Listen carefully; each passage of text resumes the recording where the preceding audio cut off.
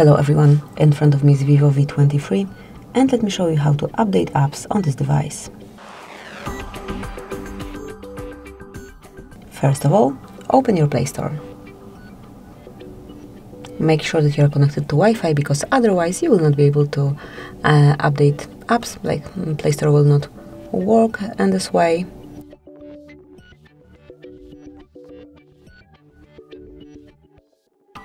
Now click on your account and select My Apps and Games. Here you will notice updates, so just mark See Recent Updates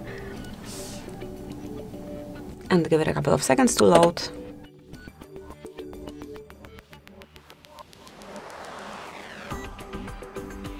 Go to Overview, mark See Details again, and now you can either update all apps at once or update one particular application, however you like.